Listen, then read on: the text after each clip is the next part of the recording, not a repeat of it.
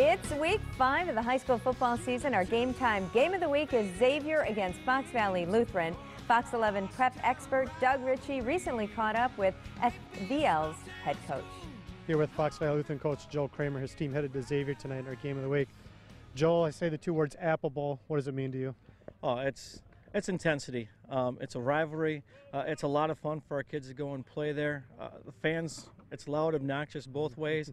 It's just going to be a lot of fun. Your team this year, you're not off to the start. You won at one and three, but talk about tonight's game and the opportunity. I mean, if you win this game, maybe your season goes a, a different direction.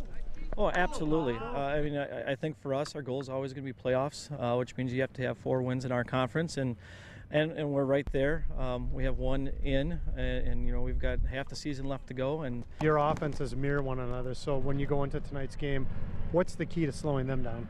Basically, if we can get their runners off their routes. I mean, that's probably the biggest difficulty that we always have playing teams is if they get our, us knocked off our routes, we struggle a little bit.